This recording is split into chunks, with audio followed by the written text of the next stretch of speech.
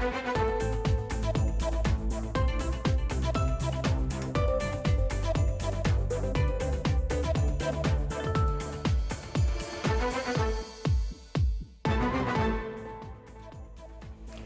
سلام. به صفحه دو خوش آمدید. مستند کودتای خزنده از همکارم حسین باستانی که از بیوسی فارسی پخش شد به جزئیاتی از یک نوار سه ساعته می‌پردازد که در آذر سال 1363 چهار سال بعد از شروع جنگ از یک جلسه بین فرماندهان وقت سپاه ضبط شده.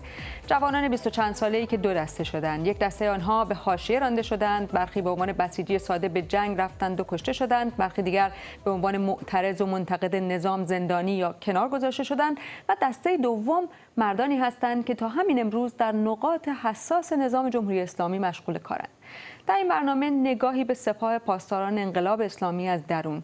چطور دعوای بین فرماندهان سپاه در سالهای آغازین بعد از انقلاب آینده سیاسی ایران را شکل داد. در این برنامه دو میهمان داریم. محسن سازگارا از منتقدان نظام جمهوری اسلامی و از پایه‌گذاران سپاه پاسداران از شورای گذار همراه ما هستند و همینطور علیرضا نامور حقیقی تلگر مسائل سیاسی ایران آقای نامور حقیقی هم از منظر اصلاح طلبی معمولا مسائل ایران رو تحلیل می‌کنن. آقای سازگارا شما جزو کسانی هستید که از آغاز سپاه رو می‌شناسید. این افرادی که در این جلسه هم صحبت کردند رو شما می‌شناسید. به نظر شما اون چه که در این جلسه گذشت چقدر در اون زمان دیده شده بود؟ چقدر شما که می‌دونم اون سالهای اولیه فقط بودید بعدا خارج شدید از سپاه چقدر می‌دونستید این اتفاقات هست و این فرمانده هم با هم اختلاف دارن؟ من البته سه ماه اول سپاه در سپاه بودم. ولی بعدا در دوره که جنگ منجر شد به بیرون انداختن صدام از خاک ایران در نخست وزیری بودم و اوایل ورودم به وزارت صنایع سنگین بود. در تاریخی که این جلسه برگزار شده من رئیس هیئت عامل سازمان گسترش و نوسازی صنایع ایران و در صنعت بودم. ولی کم و بیش اطلاع داشتیم. ببینید من یادم هست وقتی که عملیات بیت المقدس اجرا داشت می‌شد شش مرحله داشت. مرحله چهارش در واقع رسیدن به کوشک و طلایه بود و مرحله پنج و ششش محاصره بسره و خرمشهر با هم بود. ولی همون موقع ما به عنوان معاونت سیاسی یک تحلیلی نوشتیم که به شورای دفاع از طرف دولت داده شد و در اون تحلیل ذکر کردیم که ورود به خاک عراق غلطه. اگر استراتژی جنگ سقوط صدامه با پشت مرز باید بیستیم و در عوض تقاضای دخالت جامعه بین الملل بکنیم و جنگ بی حاصلی رو که صدام کرده بکشیم به محافل بین المللی و به محض اینکه وارد خاک عراق بشیم سرباز عراقی روحیه پیدا خواهد کرد و ماجرای جنگ عوض میشه و ما متجاوز میشیم. این تحلیل شاید اگر از بین نرفته باشه هنوز در دبیرخانه شورای دفاع کشور باشه چون تسلیم شورای دفاع شد. ولی همون موقع در سپاه هم اساسا فرمانده کل سپاه اون موقع مرتزا رضایی بود. نه محسن رضایی. محسن رضایی فرمانده اطلاعات سپاه بود. و جانشین او قائم مقام فرمانده کل سفر صالحی اونها هم در جلسات که در نخست وزیری تشکیل می شد مدافع این بودند که جنگ با فتح خرمشهر وقتی نیروها پشت مرز متوقف شدن و رفتن به سمت بسره بله. منتفی شد و خرمشهر آزاد شد. معتقد بودن که باید رژه پیروزی گذاشت یعنی دو سال و نیم قبل از این نوار. این جلسه. بله. بله, بله. و و مرتضی رضایی و سفر صالحی بعد از اینکه محسن رضایی هاشمی رفسنجانی رو قانع کرد به اینکه ما باید بریم داخل خاک عراق. بله. و برای حفظ خرمشهر هم شده باید بستر رو بگیریم. و هاشمی هم رفت آقای خمینی رو قانع کرد به این کار. او هم رضایت داد. بله. یک ماه بعدش عملیات رمضان رو اجرا کردند که برن بستر رو بگیرن. مرتضی رضایی استعفا کرد کنار رفت با سفر صالحی و اون کودتای درونی که امثال محسن رضایی و زلغد رو همین دار دسته که هنوزم هستن خوزستانی ها معروفن. بله. می‌خواستن بکنن تکمیل شد. و جنگ بی حاصلی شروع شد که شش سال و نیم طول کشید. ولی از اینجا به بعد داخل سپاه مثلا داوود کریمی فرمانده بله. سپاه تهران که بسیار هم محبوب بود از کسایی بود که کنار گذاشته شد و هر کس که با این دار دست مخالف بود به تدریج کنارش گذاشتن و تصفیه کردن در درون سپاه و شش سال و نیم هم جنگ بی حاصل رو ادامه داد. تکی از اون نوار الان آماده است بشنویم که یک نفر که نمی‌دونیم کیه داره صحبت می‌کنه در مورد آقای زلقدر این تکه رو بشنویم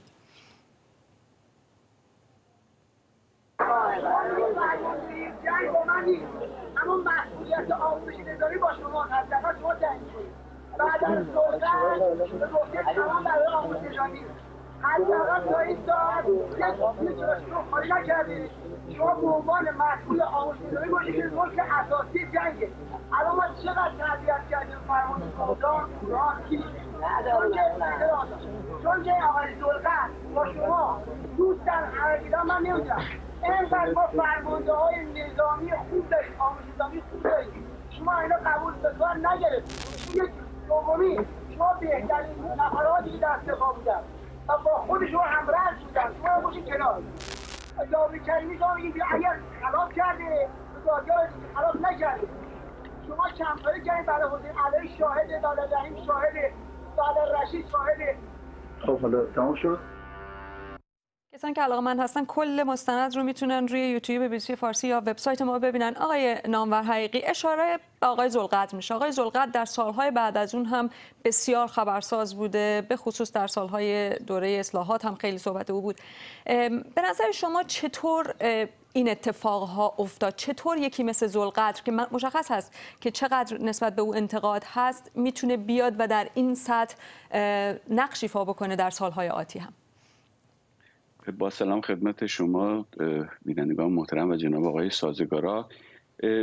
من اول با تشکر کنم از آقای باستانی که این مستند رو ساختن. چند تا مستند دیگه در مورد جنگ ساختن. یک ژانر جدید است در مستند تحقیقی که واقعا شایسته تقدیره و با استقبال عمومی هم روبرو شده. امیدواریم ادامه پیدا کنه این چیز این سیاست که بتونه در تنویر افکار عمومی در مورد حوادث چه سال گذشته نقش مهمی ایفا کنه. نکته دومی که اگر ما اول یک کمی فاصله بگیریم نگاه کنیم بعد می‌تونیم به پاسخ اون پرسشون برسیم. نکته اول رابطه بین انقلاب ها و جنگ هاست. معمولا انقلابیون تصوری ندارن که وقتی که انقلاب پیروز میشه چه تبعاتی داره؟ یکی از تبعاتی که معمولا در اکثر انقلاب اتفاق افتاده وقوع جنگ. حالا این می‌تونه جنگ داخلی باشه جنگ خارجی باشه. به علت اینکه قدرت مرکزی که تضعیف میشه گروه های واگرات چه در داخل و قدرت های خارجی چه در خارج که مشکل دارن با اون کشور و احساس می‌کنن تضعیف شده میرن به سمت جنگ. بنابراین پیوند انقلاب و جنگ پیوند ناگزیر. دوم شکل بندی جناهایی است که در درون مدیریت جنگ شکل می‌گیره که شما بخشی از این چالش ها رو دیدید. من به جزئیات نمی‌پردازم چون آقای سازگارا جزئیات رو بسیار بهتر می‌دونن. من چالش ها رو اشاره می‌کنم. ببینید چند تا چالش شما در جنگ دیدید. یکی چالش میان جناه راست و چپ بوده. یکی چالش میان جنگ کلاسیک و جنگ انقلابی بوده. یکی چالش میان جنگ همه جانبه و جنگ بخشی بوده. یعنی بله. آقای رضایی من خواهشی دارم آقای نام و حقیقی. ما می‌دونیم که به هر حال الان چهل سال از این داستان ها گذشته و شاید حالا ما در این وقت وقت کوتاهی که داریم خیلی نتونیم به اونچه که اون موقع اتفاق افتاد بپردازیم. من بیشتر می‌خوام روی تمرکز اونو بذاریم روی بله روی در واقع اتفاقات بعدی. بله. این چالش ها یکی از چالش هایی که این نوار رو شما در حقیقت میشه روی اون میوردی چالش جانشینی است. یعنی این جناهی که توی این نوار بحث می‌کنه چند تا هدف داشته و چند تا پترن داشته برای رفتار سیاسیش که الان هم می‌دونید تکرار شده. اولین مسئله اینه که اینا خیز برداشته بودن برای جانشینی و مسئلهشون این بود که جانشینی آقای منتظری رو در حقیقت بخشکونند و نماینده خودشون رو که حالا انظر خودشون آقای مصباح بوده و صلاحیت بیشتری داشتن اونها در حقیقت بیارن بالا و مطرح کنن. بنابراین مسئله چالش جانشینی اونجا بوده. امروز هم شما میدین چالش وجود داره. دوم اینکه این جناح در مقابل مخالفین سیاست حذف پیش گرفت پیش می گرفته همون چیزی که آقای سازگاران اشاره کردن. یعنی تو نوارم هست یعنی این حذف حتی شامل کسانی میشه که سابقه انقلابی داشتن جنگ داشتن مثل آقای متوسلیان و غیره. و بسیار هم در میان رزمندگان محبوب بودن. یعنی سیاست اینا حذف مخالفین بوده. سومین تاس نتیجه گیری که میشه گرفت از این قضیه اینی که این نیرویی که سر کار بوده و مدیریتش خودش اعمال می‌کرده از لحاظ کارآمدی سابقه کار و تخصص در اون حوزه‌ای که داشته کار می‌کرده کمترین صلاحیت داشته. یعنی مسئله کارآمدی و تخصص بله. مسئله جدی نبوده مسئله وفاداری بوده و از همه مهمتر که میشه نگاه کرد اینه که در حوزه جنگ سیاست خارجی اداره کشور یک تصویرهای متوهمانه بله. داشتن مثل همون یک ما بسره رو بگیریم بعدا آقای رضایی می‌گفت ما باید بمب اتم داشته باشیم تا جنگ پیروز بشیم و همین سیاست رو شما الان هم در حوزه سیاست خارجی ایران چه در حوزه غنیسازی در مسائل دیگه می‌بینید دقیقا مسئله من همین نکته که الان اشاره کردید یکی دیگه هم هست بله. که در مورد استفاده از دیپلماسی اینا کاملا بی اطلاع بودن رابطه بین دیپلماسی و جنگ رو نمی‌دونستن timing مذاکره رو نمی‌دونستن. شما در این مستند دیگه آقای باستانی ساخته. ببینید timing مذاکره ای که 598 مطرح میشه. اگه دقت کنید در تیر در مرداد 50 و ببخشید مرداد 66 598 تصویب میشه. که نشون میده یه بخش سیاسی جدا از بخش نظامی داره فعالیت می‌کنه که آقای ظریف و صادق تباتبایی و بقیه توش بودن و آقای محلاتی اگه شما نگاه کنید به جز آقای هاشمی که در همون روز مسابقه کرده با روزنامه اطلاعات و گفته 598 بله. هم مثبت داره هم منفی همه رد کردن. آقای خامنه‌ای رد کرده وزارت خارجه گفته این مثل ورسای هست. بعد همینجوری شما میاد می‌بینید تا می‌بینید اسفند 66 آقای محلاتی یک نامه بدون سربرگ به دبیرکل سازمان ملل میده که ایران آماده پذیرش 598 ولی با این حال بعد از عید هم می‌دونید که شعار آخرین قطره خون آخرین نفر تا آخرین قطره خون آخرین منزل و آخرین نبرد مطرح میشه. ولی در حقیقت سیاست بر مبنای اینه که 598 رو بپذیرن. بله. بنابراین این عدم timing شما نگاه کنید اگر در همون موقع پذیرفته بودن چقدر ما هم خاک از دست دادیم و چقدر موضعمون تضعیف شد چقدر انسان ها در این کشته شدن بله. و از همه مهمتر اگه به نظر من کلیدی هست این هست که در این وضعیتی که صورت گرفت ایران امکانش از دست داد و ما حتی موقعی که 598 رو پذیرفتیم دو سه هزار کیلومتر خاک ما در دست عراق مونده بله، بود بله. که اگر عراق به کویت حمله نمی‌کرد ممکن بود اینا صورت نگیره.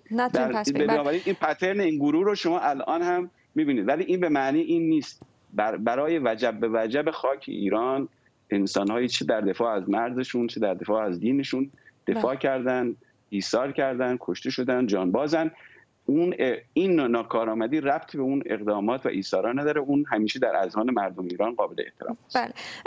آیه سازگارا اشاراتی که آقای نامور حقیقی کردند به اینکه زمان جنگ زمانی که باید صلح می‌شد مذاکره می‌شد تعویق افتاد. خود شما هم گوشه ای از اون رو اشاره کردید گفتید که برخی اصلا فکر می‌کردن بعد از فتح خرمشهر اینم خیلی رایج هست راجعش صحبت میشه که بعد از فتح خرمشهر بسیاری فکر می‌کردن بعد جنگ تموم بشه.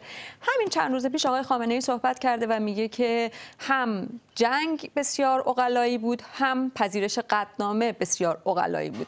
به نظر شما این دوتا چطوری با هم جمع میشن؟ که هم این اقلایی هم اون اقلایی؟ هیچی یک تناقضی داره که ایشون از این حرفای متناقض زیاد می‌زنه. بعدم استدلالی رو ایشون کرده که اون هم غلطه.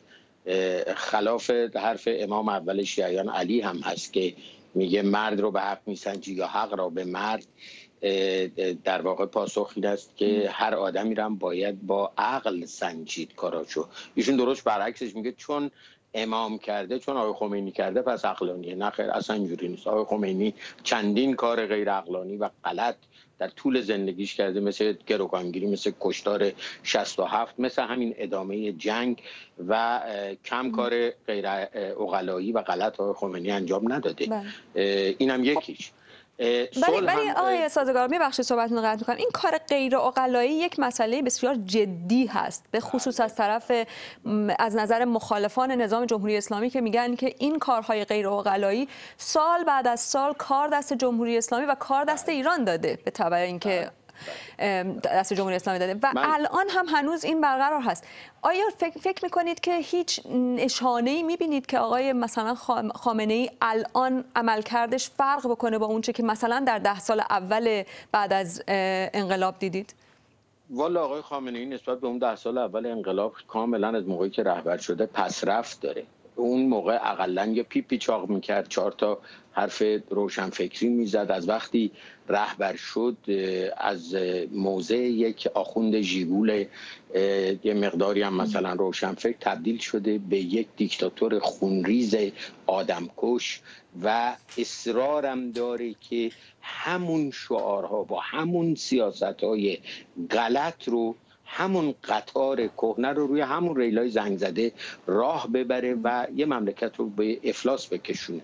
نخیر این کار غیر رو ایشون کماکان داره ادامه میده بدتر هم شده. روز به روزم که پیر میشه ظاهرا زوال عقلی هم داره. ولی ببینید جنگ وقتی که بعد از فتح خرمشهر من مقصر اصلی رو هاشمی می‌دونم. و البته مهمتر از هاشمی شخص آقای خمینی. او نهایتا پاسخگوه و یکی از مهمترین اشتباهاتی است که در زندگیش کرد و تاوانش و ملت پرداخت. دویست و ما سی و پنج هزار کشته دادیم خاک میهنمون رو آزاد کردیم. چکمه نجس صدامی ها رو از روی خاک پاک میهن به خصوص خوزستان برداشتیم. اما سی هزار کشته اضافه رو دست کشور گذاشتن به اضافه هزاران مجروح مفقود برای شیش و نیم سال جنگ بی حاصلی که اتفاقا بسیاری عملیات ها مثل کربلا چهار و یا فاب و غیره وحشتناک اشتباهات نظامی داشت. یعنی لو رفت حتی رفتن عملیات انجام دادن بچه های مردم رو قتل عام کردن. یکشم پسرموی خود بنده که هنوز مفقوده و برنگشته مادرش هم انقدر به در نگاه کرد تا جنازه بچهش بیاد تا فوت کرد. می‌خوام بگم ببینید این کار که میلیاردها دلار هم خسارت به ما زد از اون اشتباهات بزرگ بود که اتفاقا همین دار دسته محسن رضایی و زلقدر که پیشینه شوهر همین عزیز جعفری بله. یکیشون شوهر اون یکی حالا مطمئن نیستم کدومشون. و این باند هنوزم دست از سر مملکت بر نمیدارن. طلبکارن از این ملت. همون حرفایی که آقای حقیقی به درستی گفتن. صد من یک قاضی رو که در سیاست خارجی و داخلی و غیره می‌زدن هنوزم می‌زنن. آقای خامنه‌ای هم دنبالشون را افتاده و دست بردارم نیستن. این این زلغت کسی که همون اول انقلابم توی سازمان مجاهدین انقلاب اسلامی کودتا کرد و اون تصفیه ها اونجا انجام شد تا بعدا یه عده دیگه رفتن بازسازیش کردن. ببینید این حضرات در طول این سالیان بچه های خیلی خوبی رو داخل سپاه همین الان هنوز محل سوال بهمنی تو جبهه به سرز مشکوکی کشته شد.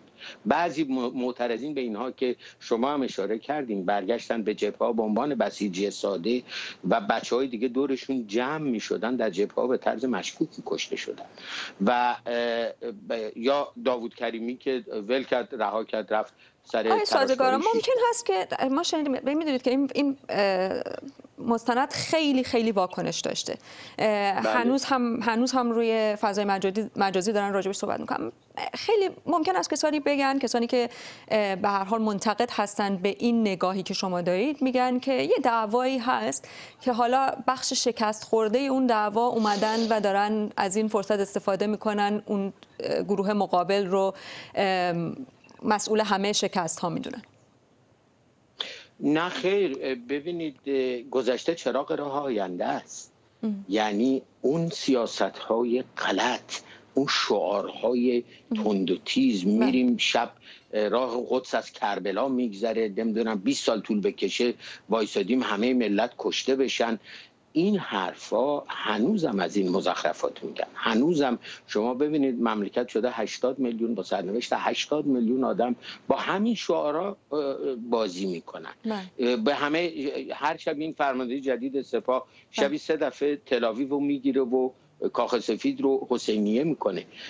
این حرفا محدود به اون دوره نمونده. همین سیاست ها ادامه بده اگرچه آدمایی مثل هاشمی بعدا قبول کردن اشتباه بوده توبه کردن بله. می‌خواستن برگردن که سرشون هم زیر آب کردن. ولی الباقی متاسفانه این نگرش شد نگرش قالب هر کم غیر از اینا فکر می‌کرد زندان بله. کردن سربنیز کردن به امثال بنابراین نه اصلا محدود به گذشته نیست. سیاستی است که اون خسارت رو در جنگ رو دست کشور گذاشت و بعد از جنگ هم در بدترین شرایط یکی از بدترین راه که قطنامه کشدار و مبهم 598 بود رو به کشور تحمیل کرد در حالی که جلوتر از اون چندین فرصت صلح بهتر بود و اومد تا همین امروز هم همون مسیر کج رو دارن ادامه میدن. آقای نامور حقیقی نظرتون رو می‌خوام راجع به صحبت آقای سازگارا بدونم به خصوص اون بخشش که صحبت از آقای هاشمی میشه و اینکه نقش او چه بوده. در این مستند هم می‌بینیم که به هر حال خیلی نزدیک هست ظاهرا محسن رضایی به آقای هاشمی به عنوان فرمانده جنگ و دائم با او دست کم مشورت می‌کنه.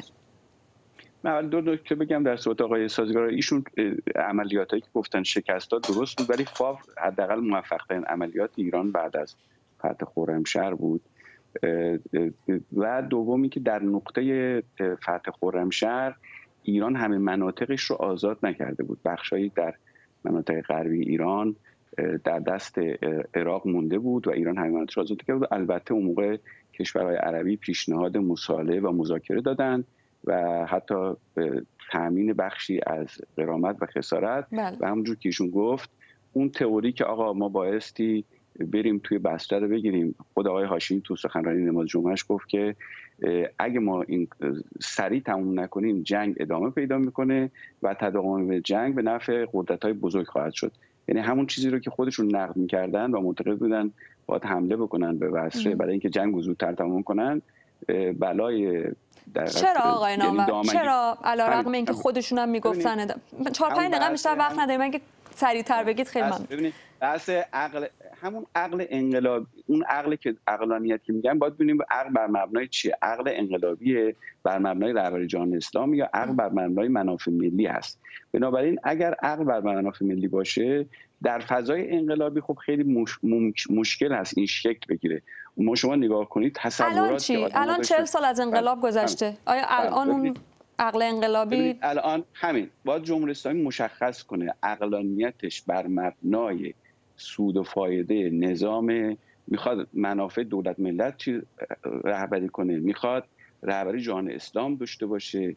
چه حوزه ای رو می‌خواد مبنای محاسبه قرار بده؟ اگر شما مبنای دولت ملت قرار بدید طبیعتا بخشی از این سیاست ها نمی‌تونه پیش بره. ببینید همین گروهی که بحث میشه علاوه فرهنگی تصورشون در مورد درکشون از اسلام بسیار محدود بوده بسیار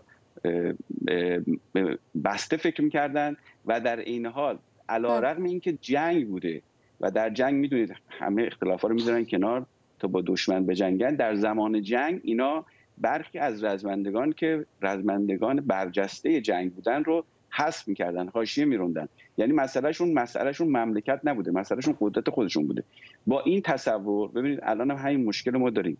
اگر تصور این باشه که یک گروه خاصی جانشینی رو داشته باشه و مملکت رو با اون تئوری ادامه پیدا کنه خب. قطعا همین سیاست ادامه پیدا ببخشید من می‌خوام اینجا سوالی هم در مورد نزدیکان آقای خامنه ای بپرسم. الان تعدادی از همین افراد جز نزدیکان آقای خامنه ای هستند روشن هست. تاثیر اونها رو چه می‌بینید؟ اگر که بحث همونطور که شما بارها اینو گفتید که مسئله مسئله جانشینی هست در حال حاضر نقش اینها رو چطور می‌بینید اگه کوتاه بگید. ببینید دقیقا همین مسئله جانشینی به عنوان بوران جانشینی باعث شده که در سیاست هایی که در مورد نهادهای انتخاباتی صورت بگیره سختگیری بیشتر بشه. در مورد به حاشیه روندن افراد مثل مثل آقای خاتمی یا ادامه هست سختگیری بیشتری صورت بگیره. و در این حال در سیاست هایی که دولت آقای روحانی خودش هم دولتی است که فشل خوب کار نمی‌کنه ولی در این حال این دولت فشل و ناتوان هم اجازه نمیدن در حوزه سیاست خارجی موفقیت های کسب کنه که بتونه بتونه ادامه پیدا کنه به علت اینکه آقای روحانی مدعی رهبری شده. بله. همه اینا نشون میده که چالش های مربوط به جانشینی سایه افکنده بر سیاست های داخلی و سیاست خارجی. ولی اگه در تصویر بزرگتر نگاه کنند این آینده برای هیچ کس قرار نمیده. یعنی برای ایران به عنوان موجودیت باید همه قبول کنن که باید شاخص های محاسبهشون رو عوض کنن با تاثیر بزرگتر نگاه کنن. بله. بنابراین میشه با مصالحه و گفتگو بخش های از قدرت با واگذاری ظرفیت ها به بخش های دیگه اجازه بده که خب من فقط یک دقیقه فرصت داریم. من می‌خوام یه وقتی هم به آقای سازگارا بدم. آقای سازگارا نظرتون راجع به این صحبت های آقای نامور بگید. من فقط یه جمله بگم فاور آقای حقیقی اشتباه می‌کنه. همون موقع ما تو صنایع سنگین تو شرکت هپکو بولدزر و لودرا رو سیل کردیم از کف شتل عرب اروندرود ردشن برای اون عملیات. ولی وقتی با ارتشی ها صحبت می‌کردی بلا استثنا می‌گفتن این عملیات احمقانه است. میشه رد شد رفت ولی نمیشه نگه داشت. همین هم شد. بچه ها قتل عام شدن در فاو بله. و در برگشت هم تو شد اروندرود ده ها نفر بلکه صدها نفر از دست رفتن و ناچار شدن برگردن. از این کارا دست گلا حضرات زیاد آب دادن. تا آزادی خرمشهر رو استراتژی تیمسار فلاحی حرکت کرد. ارتش طراح بود بسیار موفق بود. ولی از بعد از اون کار افتاد دست همین محسن رضایی و دار دسته و هاشمی که با تلفن جنگ رو اداره می‌کرد با اولای منتظری و این کشتارها اتفاق افتاد. ولی ببینید بحران جانشینی در ایران بحران جدی است و قدرت متمرکزی که در بیت به وجود اومده که با بیت آقای خمینی خیلی فرق داره الان مدتی است که مشتبه خامنه ای داره مخرج چینی می‌کنه که این قدرت از بله. بیت و دوربری های خامنه ای بیرون نره اتفاقا همین دار دسته محسن رضایی نام تو این به اصطلاح جوونگرایی اینا خیلی دیگه نقشی نخواهند داشت تیم بله. دیگری رو داره مشتبه میچینه برای قدرت خودش متشکرم از هر دوی آقای نسخایی می‌کنم که وقت ما کم بود. آقای سازگارا و آقای نامور حقیقی متشکرم از هر دوی شما. و ممنونم از شما که با این برنامه همراه بودید. شب روزتون خوش.